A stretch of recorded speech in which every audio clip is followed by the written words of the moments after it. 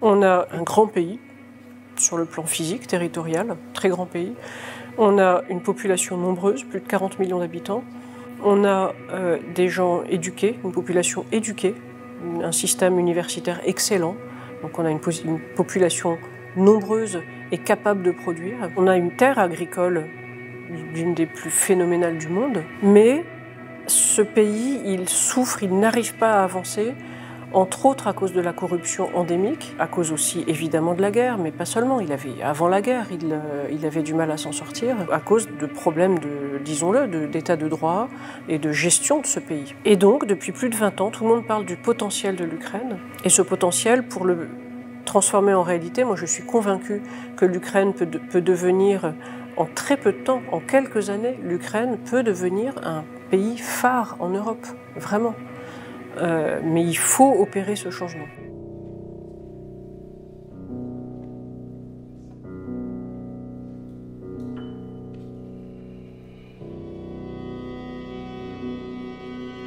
On est sur la euh, rue Institutskaya, entre Maïdan et le bâtiment du Parlement.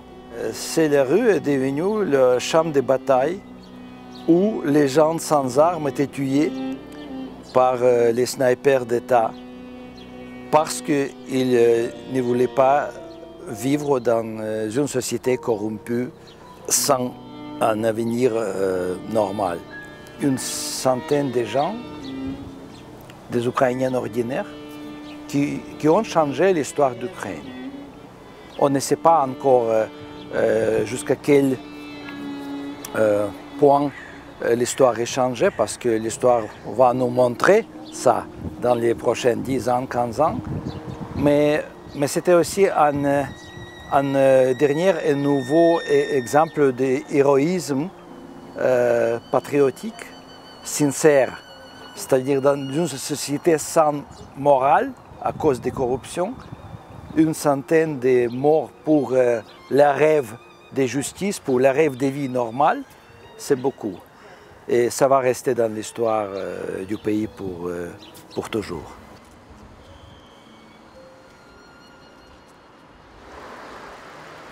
Ici en Ukraine, il y a quelque chose de tout particulier qui n'existe que en Ukraine. Nulle part ailleurs au monde ça n'existe. Euh, c'est un groupe des ambassadeurs du G7, ça qui s'appelle le groupe de soutien pour les réformes des ambassadeurs du G7. Il a été créé par les chefs d'État et de gouvernement du G7, par nos, leaders, par nos, par nos chefs d'État, euh, pour l'Ukraine, spécifiquement avec l'accord évidemment des autorités ukrainiennes, puisque ça n'a de sens que si, là encore, on travaille main dans la main. Cette année, donc, nous sommes très heureux d'être, de travailler sur la présidence française, euh, l'ambassadrice Dumont qui fait un, excellent travail pour... Euh, pour, pour, poursuivre ce chemin des réformes dans un contexte politique qui est assez unique et assez complexe, parce qu'il y a une transition démocratique très importante en Ukraine, un nouveau président, nouveau, nouvelle administration, bientôt nouveau parlement, nouveau gouvernement, et pour donc euh, faire le point sur l'importance de poursuivre sur le momentum des, euh, des, réformes, réforme du système judiciaire, réforme de la lutte contre la corruption, réforme électorale, euh, réformes qui ne sont pas encore complètement euh, complétées, mais qui sont sur la bonne voie d'être d'être accomplies. Une fierté parce que, encore une fois, pour les autorités ukrainiennes d'avoir quand même mis sur place en très peu de temps, en deux ans, des, institutions anticorruption qui n'existaient pas, des institutions, un bureau de lutte contre la corruption, une, agence anticorruption, des, vraiment des institutions, qui, y compris physiquement, qui ont été mises en place, et puis un système judiciaire encore, euh, euh, très fragile. Yes, I agree. Uh, the G7 group here in Ukraine is a centerpiece of, of, uh, of uh, the work the embassies here are doing, the embassies we are speaking about. And Uh, Uh, the importance of the group has been growing each year. With each presidency, there has been more. It has become more recognized by the Ukrainian interlocutors. It has become more widely known among the public here, and it, I believe it has also had more of an effect to, for the advancement of reforms. J'avais souhaité, quand je suis arrivée en 2015, j'avais euh, réfléchi à quel serait mon premier déplacement en région. Le grand classique, euh, c'était d'aller à Lviv ou à Odessa, des villes, euh, disons, européennes, Et puis j'avais réfléchi, j'avais décidé avec mon équipe, on, avait, on y avait réfléchi ensemble, et j'avais voulu que mon premier déplacement soit à Mariupol, pour marquer politiquement, donner un sens et montrer que, la France était aux côtés de, l'Ukraine. Et une façon symbolique, ça n'est bien sûr que symbolique, mais une façon symbolique de, le montrer, c'était de choisir Mariupol comme premier déplacement.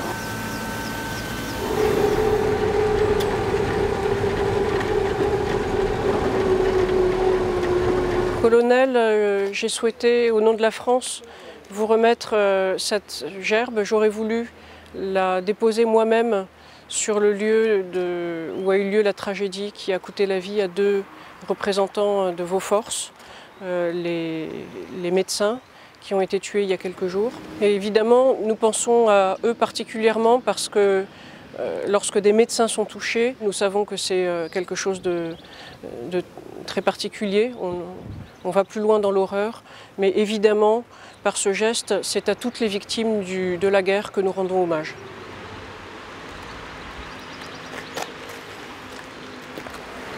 Дякуємо представникам Французької республіки. Впевнено, запевняємо вас, що ці квіти будуть покладені на місце загибелі наших бойових побратимів вже сьогодні. Дякуємо. Давай я буду делать. У меня голова обычно очень маленькая. У вас детские есть? Нету. Да. А, вот.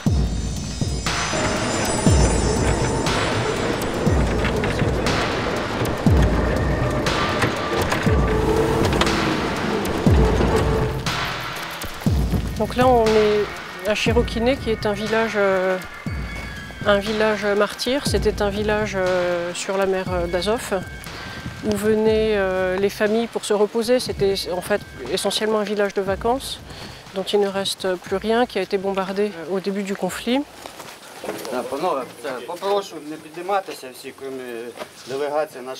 Mines,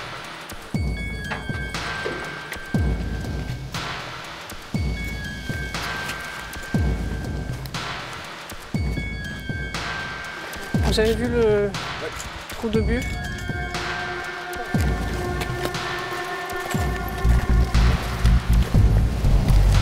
Il y a une là sur la plage évidemment. Ah oui, et aussi des, mines, des, des, mines flottantes. D'accord. Donc là, ça, ça j'avais pas vu ça là. Vous étiez pas là en 2017 J'avais pas vu ça. On n'était pas monté sur le toit comme ça. C'est un peu dangereux, mais c'est intéressant.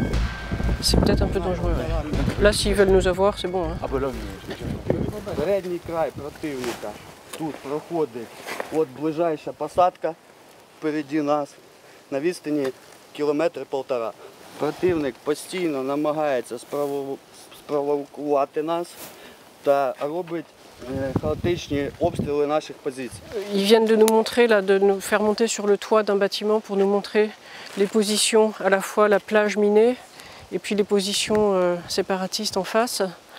Je leur ai posé la question de savoir s'il y a encore des, bombardements, puisqu'on était venu avec le ministre, euh, le secrétaire d'État Mathias Feckel en 2017, et on avait ici même entendu assez distinctement des bombardements euh, qui n'étaient pas si loin que ça. Là, on n'entend pas, mais ils me disent que ça continue, que quotidiennement, il y a des bombardements encore, encore aujourd'hui, et ils nous disent que encore hier, euh, leurs leurs positions ont été visées.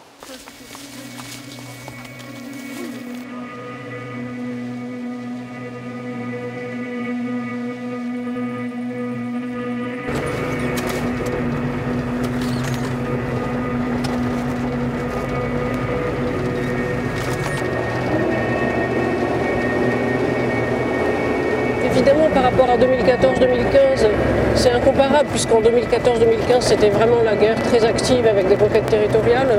Mais je lui dis, dans les deux, trois dernières années, euh, est-ce que vous estimez qu'il y a eu une baisse de l'activité euh, armée, des tirs, ou, euh, ou est-ce que c'est stable?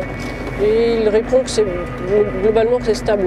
Donc lui n'estime pas que, que la situation s'améliore. Facile. Là-bas, c'est la fameuse école qui a, été, euh, qui a été bombardée en 2014. Mhm. Ça, évidemment, cette école, elle est particulièrement symbolique parce que c'est les, c'est les, c'est les enfants qui sont touchés. Quoi. Donc ça a été, c'est l'une des destructions les plus symboliques de, tout ce- de toute cette guerre euh, en Ukraine.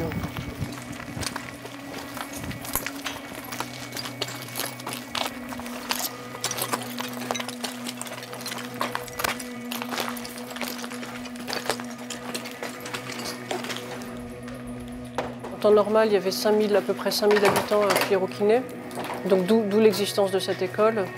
Euh, et en période euh, de vacances, on passait à 10-15 000 habitants.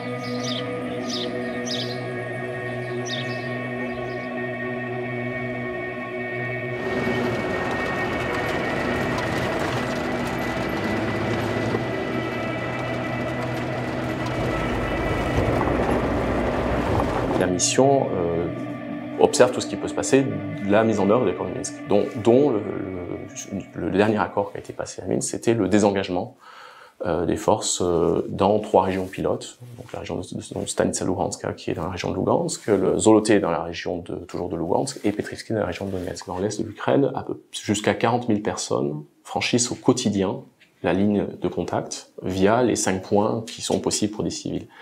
40 000 civils qui franchissent euh, une ligne de contact, ça veut bien dire que c'était possible. Il n'y aurait pas de les autres conflits qu'on a pu voir euh, à base ethnique ou religieuse, les gens ne traversant généralement pas la, ligne de contact.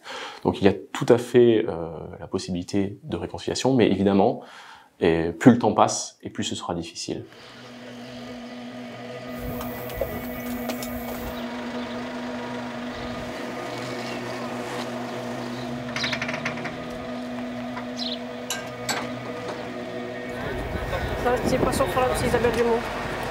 Приятно. Очень приятно. Здрасте.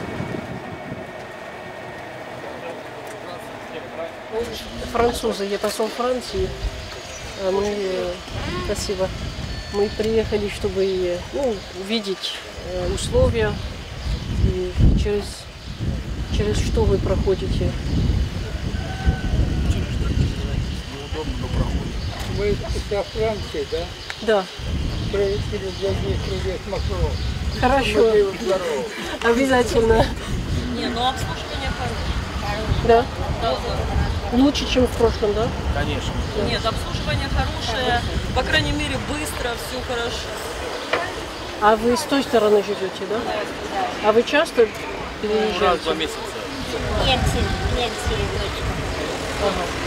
Les rares personnes auxquelles on a par- parlé, c'est ce qu'ils disent tous, c'est on leur demande si ça s'est amélioré, etc. Mais ce qu'ils disent surtout, c'est qu'on voudrait que tout ça s'arrête. On veut que la guerre s'arrête. Здравствуйте. Isabelle Dumont. Bonjour. Bonjour.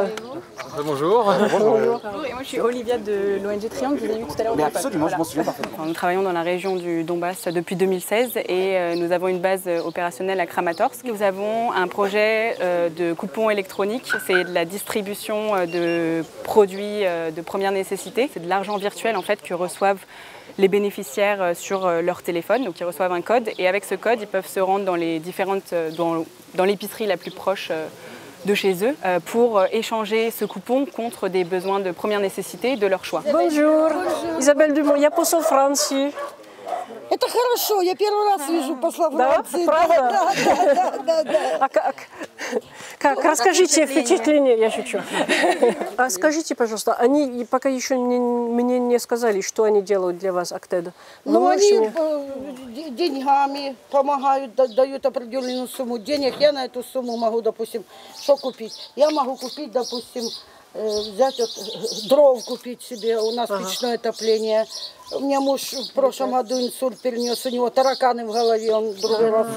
Он, я ему сейчас успокоить. Сынок, ложись, спи, сыночек, спи, да.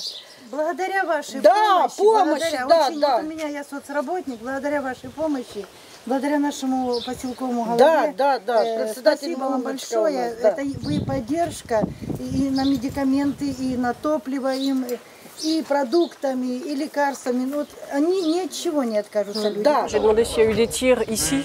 Elle dit pas spécifiquement dans cette maison, mais il y a eu des, comment on appelle ça, des... Вот это я, правда, не знаю, от чего. Des éclats, des, des éclats Вот d'obus. это. О, ребята, ну это мелочи, да? Ну вот представь, если так... да? Я выкинула половину. Но только думаю, вдруг вы приедете, надо вам показать. Видите, вот это вся беда. Вот это все летело к нам. Ça, c'est les éclats d'obus qui sont tombés euh, et dans, plus ou en gros dans son jardin. Quoi, qui ont- elle, parle- elle a parlé aussi des fenêtres. Qui, bah, D'ailleurs, il y a une fenêtre, vous voyez, il y a une fenêtre en plastique.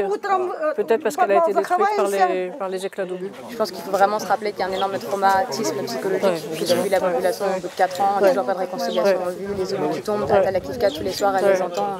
Les bénéficiaires, euh, et ça j'en ai rencontré pour le coup par le passé, euh, disent d'eux-mêmes qu'ils ont besoin de soutien psychologique. Et je m'y attendais pas, j'aurais pensé qu'il y avait une espèce de pudeur à dire euh, non, non, psychologiquement ça va. Et malheureusement, les gens qui restent sur la ligne de contact sont malheureusement les plus vulnérables. Et, c'est ça un peu, c'est un peu ça la difficulté, c'est qu'ensuite les services s'en vont de ces villes, et il y a très peu de gens qui y vont, et ceux, qui restent, c'est le CICR, c'est les agences humanitaires pour donner ce genre de soutien чтобы не стреляли, чтобы мы встречались с вами. Чтобы так стол накрыли, самогончика, огурчика, помидорчика, абрикоску сели. Хорошо накатили и красиво Elle veut, разошлись. est-ce que- ce qu'elle vous- ce qu'on- son idéal, ça serait de mettre, en- mettre une table ici, et, pouvoir, puis on se, on se sert de la vodka, des, des- on, pourrait, on pourrait euh, attraper les fruits euh, directement à l'arbre, et puis voilà, on mangerait tra- tranquillement sans qu'il y ait les obus qui, qui, qui tombent. Спасибо. Спасибо. До свидания. Такие хорошие, такие приятные. Ой, ну дышь. Спасибо большое. правда. Ой, Хорошо, держитесь.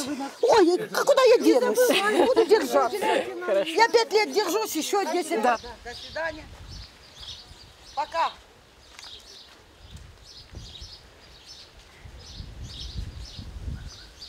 Une fois sur place, j'ai découvert d'autres réalités. J'ai découvert la réalité de la, de la ville, évidemment la proximité de la guerre, euh, mais j'ai aussi découvert les besoins médicaux, en particulier pour les forces armées, mais pas seulement, et les questions environnementales, y compris l'eau.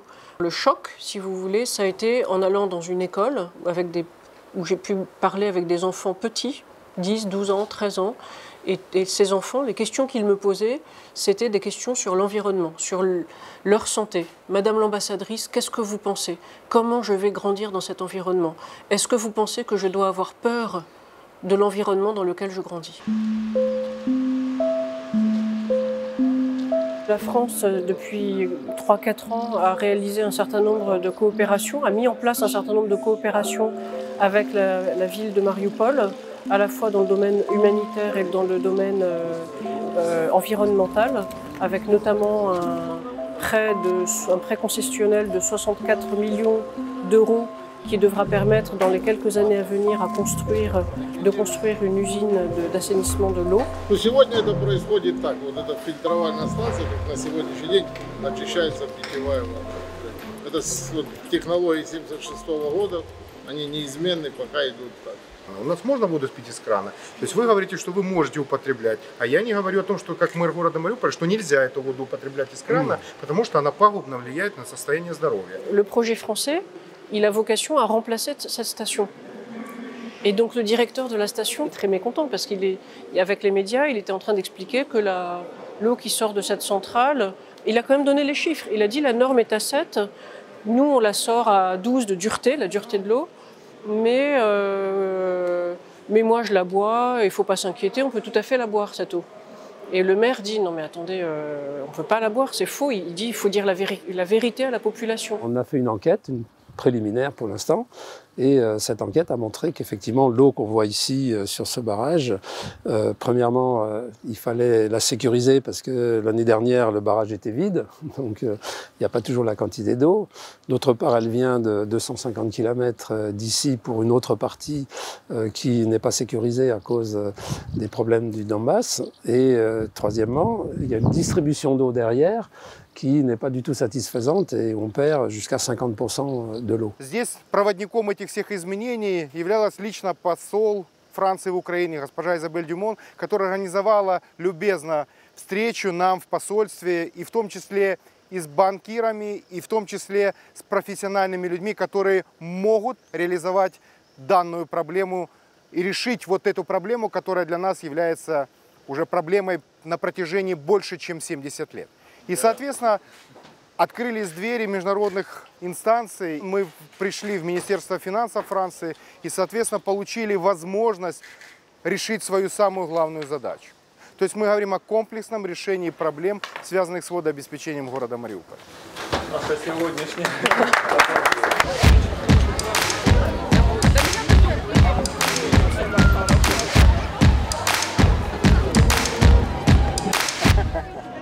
Вас проекты с Мариуполем, много проектов Франции, Мариуполь, проекты есть, правда? Да, ну есть э, там два, два особенно важные сейчас. Это мы подписали контракт Митинвест с Air Liquide. И другой большой проект тоже в этой сфере, это, это проект воды, очищение воды.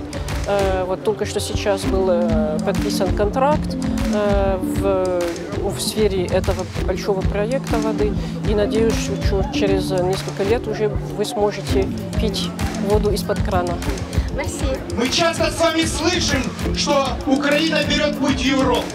Мариуполь выбрал этот путь и с этого пути никогда больше не свернет.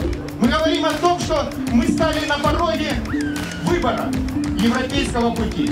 И стали на пороге проблемы, которая называется водообеспечение города Мариуполь. И наши французские друзья нашли техническое решение и дали финансовую помощь городу Мариуполь. То есть это вот маленькие, я не говорю, что то, что Франция здесь делает, это огромное там дело, но мало-помалу то, что мы делаем, надеюсь, будет позитив, и надеюсь, что это будет пример для того, чтобы и другие нач- нач- начинали интересоваться в ваш, ваш город и тоже поддерживать и сделать проекты.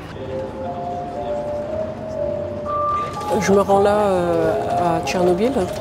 J'y suis allée plusieurs fois depuis le début de mon séjour, mais là c'est un jour particulier parce qu'il s'agit de transférer la responsabilité de la gestion de l'arche de Tchernobyl aux autorités ukrainiennes. Les travaux ont été achevés, ça y est.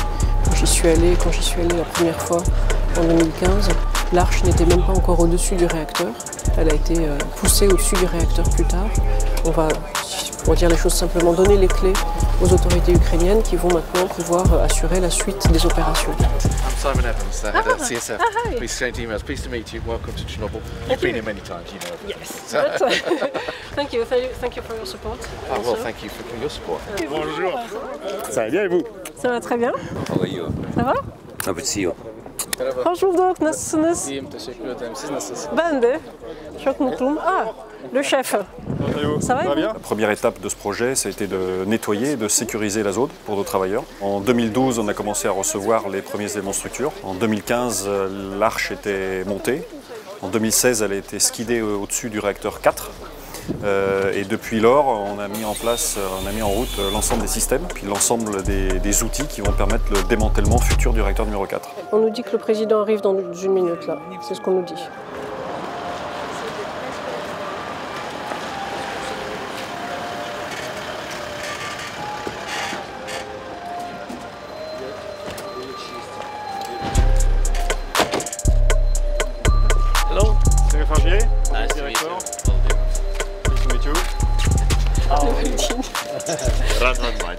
Знаете, что Франция сделала? Вот директор проекта. Очень рада вас видеть здесь. Первый раз в Чернобыле. Так, Вы я увидите. первый раз, да. И первый раз это же самый большой движимый объект. Да, Мне раз- да, да. Супер. Okay, Mr. President, so be welcome. Thank you very Uh, very honored to have you here today. Uh, here you are in the control room of the new safe confinement. Why a control room? Uh, in two words, the purpose the new safe confinement is to confine any possible contamination. Okay? Because it's a passive confinement, but it's also an active confinement because there is always a depression into the main volume. So that the contaminated dust in the future, when we deconstruct, will not fly outside. And to have this depression, we have huge machinery, big filters, big blowers, and all this is controlled from here. Okay?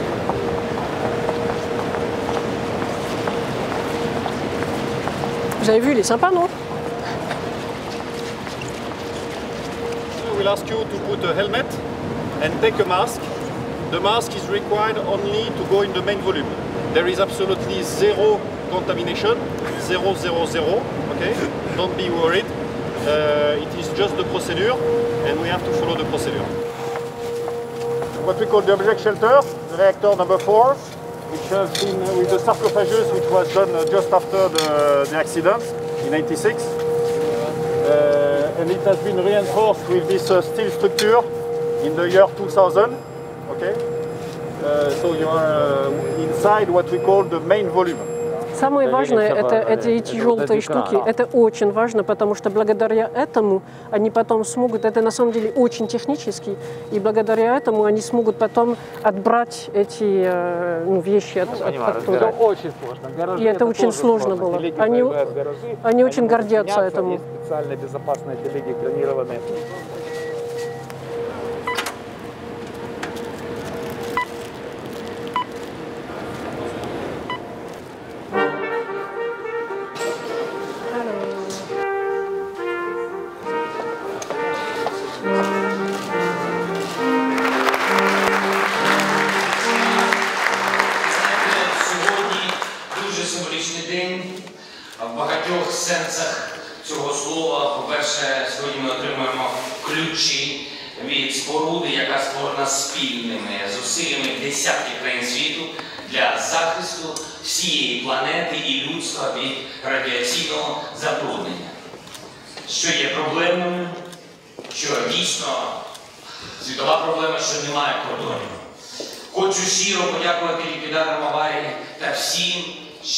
дякую, хто брав в цьому участь.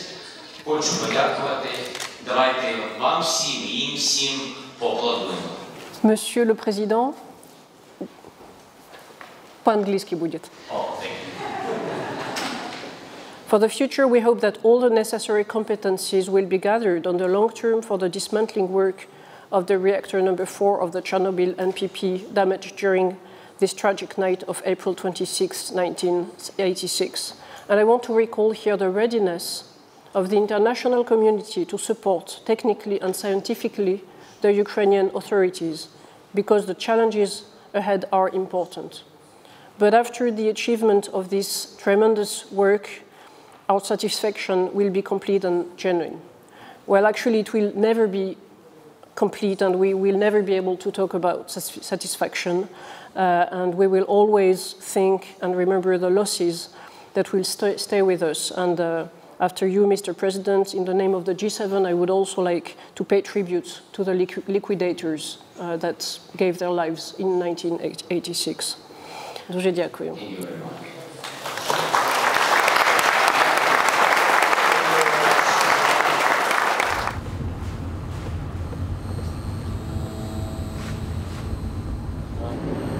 Родом я с Село Залисье Чернобыльского района. Здесь родился, в школу ходил, в армию призывался. После армии здесь работал. На момент аварии Чернобыльской был в Чернобыле работал. После аварии три месяца никуда не выезжал. Здесь был на ликвидации последствий Чернобыльской аварии. Là, nous sommes sur l'une des places de la ville de Pripyat. C'était euh, une sorte de fête foraine. Donc vous voyez toutes les installations de la fête foraine, euh, des autotamponneuses un peu plus loin, euh, des carrousels. Et alors ce qui est surtout resté un symbole, c'est cette, cette roue qui avait été construite pour les festivités du 1er mai 1986. Et l'explosion a eu lieu le 26 avril, quelques jours avant. Et donc tout le symbole de cette roue, c'est qu'elle n'a jamais fonctionné. On pense toute la douleur et toute la, euh, la tristesse euh, de ces familles qui ont, qui ont dû quitter cet endroit euh, de façon aussi rapide.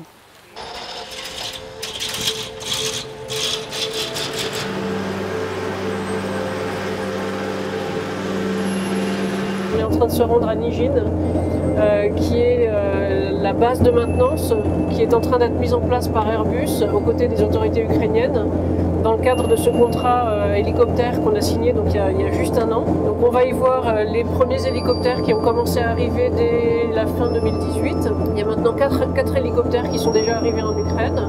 Les pilotes ukrainiens ont été formés. Euh, et petit à petit, les hélicoptères vont continuer à être livrés les uns après les autres. Au départ, c'est 55 hélicoptères qui vont être livrés euh, au ministère de l'Intérieur pour euh, réaliser des, des tâches de sécurité civile. Ну, это же получается, час и приближается опять знаменательная дата, потому что год назад мы как раз работали в проекте, чтобы подготовить договор. Да. И как раз на День Франции, День дяди Василия, Да. который проводился там, я как раз и вот- Да, правда. Спасибо. Bonjour. Bonjour. Е, Командар е, Special Aviation Squadron, Коробка Івана. Дуже приємно. Дуже приємно. Ça va Bonjour. Bonjour Savanel. Ça va Bonjour. Euh, Ça c'est un 145 d'Airbus, le petit hélicoptère. Он Два очень у- маленький. Два, два у нас есть, Очень это 145 Э, Но он, у него основное предназначение, он у нас тоже покупался как медицинский вертолет. Основное предназначение это выполнение медицинских полетов. Здесь тоже до двух пострадавших, но реанимационные можно проводить одному из Ага. пострадавших.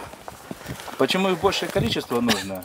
Потому что нужно создавать сеть по всей территории Украины. М. Э, Чтобы Да, ре- время реагирования конечно. уменьшить, да, чтобы Конечно. плечо подлета было, ну, как в европейских странах, Да. это не больше 70 километров. Тогда можно быстро реально Ouais. спасти человека.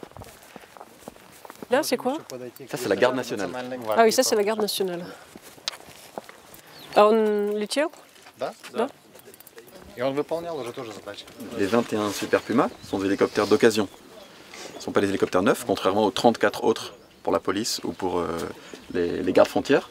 Donc la partie euh, hélicoptère d'occasion vient initialement, sont des hélicoptères euh, très jeunes, hein, qui viennent du milieu pétrolier, donc ils sont encore dans une configuration aujourd'hui de transport de passagers, mais qui vont passer sous un grand chantier dans les 12 mois pour devenir soit des hélicoptères euh, 100% dédiés euh, euh, aux opérations de recherche, notamment, notamment en mer, hein, les, les- les rogers blancs ou, ou transport médicalisé, ou etc. Soit des hélicoptères de transport ben, de, de gendarmes euh, ou de, de- de garde nationale ou de logistique. Parce qu'il faut se rendre compte que 55 hélicoptères, c'est euh, pas exceptionnel, mais c'est- une très grosse flotte. Et surtout 55 hélicoptères d'un coup à absorber dans, une, euh, dans, dans- dans plusieurs organisations différentes dans un pays comme l'Ukraine. Donc euh, c'est le côté fantastique du contrat et du projet, mais c'est aussi tout ce qui va générer pas mal de complexité pour eux, et là où on va devoir les accompagner. Я, я думаю, что мы все вместе гордимся да, строили. Для нас этот проект очень важный. Это, наверное, за 4 года, как я была в, в Украине, самый важный проект, на котором мы работали. И очень тесно работали с Министерством э, внутренних дел и с Министерством э, финансов Украины. И очень просто приятно видеть, что уже, э, уже вот обслуживают э, для людей э, миссии очень важные и спасают жизни, в общем-то. Не со всяким послом у нас э, за долгие годы так получается работать, как мы работали сейчас. У нас множество проектов, которые мы сделали, и эти проекты великолепны. Это сложнейший технический и политический проект с Airbus геликоптер. Система авиационной безопасности, которую мы создали, та система, которая приносит реальную пользу для качества жизни наших людей и э, для французской промышленности. La fête nationale, c'est pour toutes les ambassades et pour tous les ambassadeurs, c'est un moment euh, vraiment important parce que c'est là où se rassemblent nos amis. Qui plus est quand on quitte le pays, quand on, quand on est dans cette dernière année, c'est c'est là où on peut retrouver à quelques jours du départ, euh, de façon euh, très large, tous les gens avec lesquels vous avez travaillé pendant votre séjour. Il y a des membres du gouvernement, il y a des artistes, euh, il y a des fonctionnaires, il y a des, il y a des Français, des compatriotes évidemment. Euh, donc ça fait beaucoup beaucoup de monde. On a généralement un millier de personnes. C'est l'occasion aussi pour l'ambassadeur de passer un message, de évidemment formellement lire un discours, mais dans ce discours il y a des messages, euh, des messages d'espoir, de soutien. Je voudrais commencer par évoquer les, les progrès incroyables, je pèse mes mots, incroyables, réalisés par l'Ukraine ces dernières années depuis le Maïdan.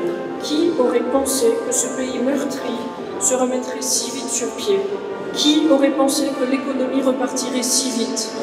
Qui aurait imaginé que les citoyens ukrainiens pourraient voyager librement vers les pays de l'Union européenne alors que les troupes russes venaient d'annexer la Crimée et que la guerre dans le Donbass venait de commencer?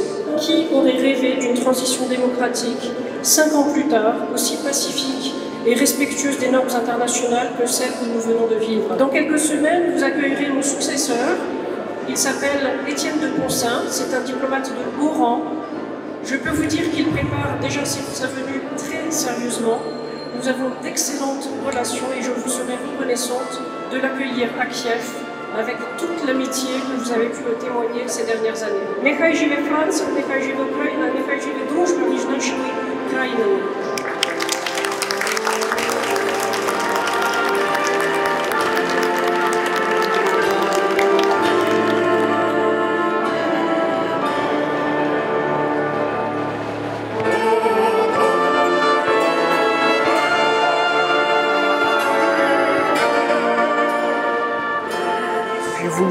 Centrer mon, mon, discours sur à la fois l'appui aux réformes que nous avons essayé d'apporter et puis l'espoir que l'Ukraine continue sur ce chemin européen.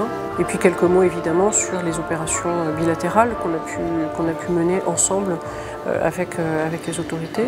Voilà, c'est un moment important évidemment. C'est un moment de fierté aussi, puisque nous faisons ici à Kiev une très belle fête nationale qui est reconnue par tout le monde, y compris par nous autres, par les autres ambassades, comme étant particulièrement festif. La question s'est posée d'ailleurs de faire cet événement festif alors que nous sommes dans un pays qui souffre. Mais euh, pour en avoir parlé avec beaucoup d'Ukrainiens, euh, il y, y, a ce besoin, il y a un besoin de festif et je crois que c'est important aussi de se retrouver ensemble dans ces moments de joie.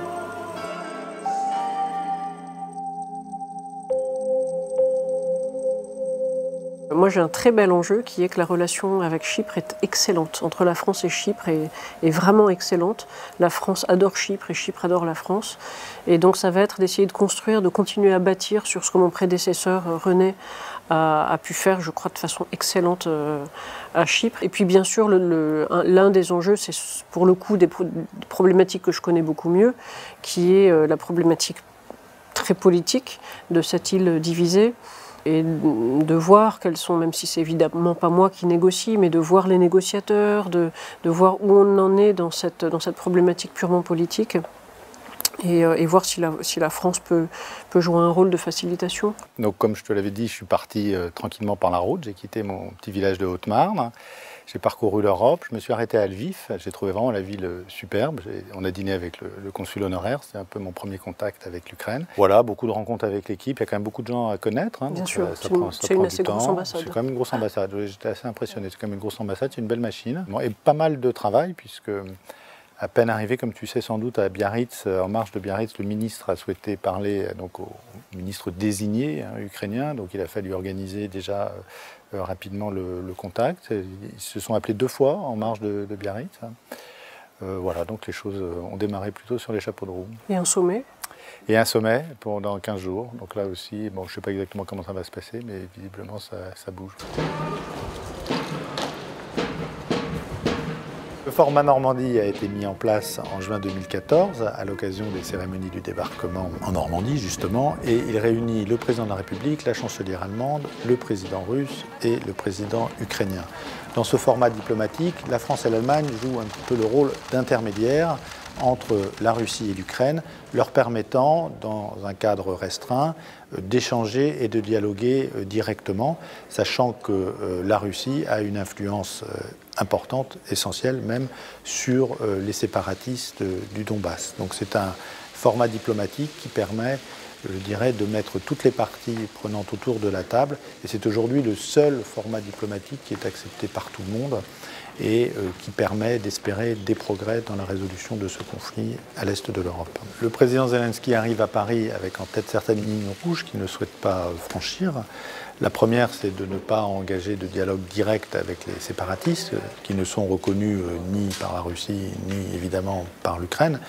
La deuxième, c'est évidemment de ne pas renoncer en aucune manière à euh, l'intégrité territoriale de l'Ukraine et donc au fait que les territoires du Donbass sont des territoires euh, ukrainiens. Ce sommet est capital pour les Ukrainiens parce qu'il y a une très forte aspiration de la population à la paix. L'important, c'est de briser la, la glace entre euh, le président russe et le président Zelensky, qu'ils se parlent, qu'ils se comprennent, qu'ils se connaissent et euh, qu'ils mettent en œuvre les engagements qu'ils auront pris pour euh, le bien des populations sur place. Donc pour toutes ces raisons, je pense que c'est un sommet qui est extrêmement positif et qui est une, une étape en avant très importante. C'est un beau succès. C'est la première fois depuis trois ans qu'il y a un sommet Normandie. En plus, ils ont adopté à l'unanimité les, conclusions, ce qui n'avait pas été le cas lors des précédents sommets.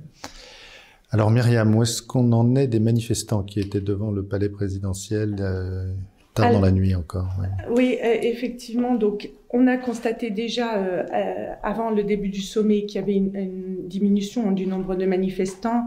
Ils étaient 10 000 à Kiev euh, dimanche. Et puis, dans la nuit, devant Bankova, ils étaient euh, à peu près un millier. Dans la nuit de contact, je dirais que le, la tenue du sommet n'a pas produit d'effet particulier. Mmh. Ce qu'on avait constaté euh, entre novembre et décembre, c'était quand même une nette baisse du nombre de violations. Mmh. Donc, euh, pour la journée d'hier en particulier, donc sur les trois zones de désengagement, il n'y a ouais. rien de particulier. Mmh. Le cessez-le-feu a été euh, observé totalement. L'avantage de ces résultats, un peu sans surprise, il n'y a pas eu de grande percée, c'est que les, les, réactions le sont euh, également, plutôt modérées. Le parti du président était très satisfait, mais également parmi l'opposition, peut-être un peu aussi de, de soulagement. Christophe, comment on s'organise alors pour la journée, les contacts à prendre ce que disait Lucien, euh, peut-être signaler que maintenant il y a une bonne partie de la charge qui revient sur le, le groupe trilatéral à Minsk. Mmh. Avec maintenant, ils ont quand même une liste de devoirs assez importants à, à remplir et l'enjeu va être là euh, bah, dès, dès, la semaine prochaine. Tous les 3-4 ans, on, on reconstruit, euh, on rebâtit des cercles humains. Finalement, c'est cette patte humaine qui est la plus intéressante au bout du compte. Ce qui est très gratifiant dans le métier de diplomate, c'est que lorsqu'on réussit, on a un impact direct sur la vie des gens et le sort des populations.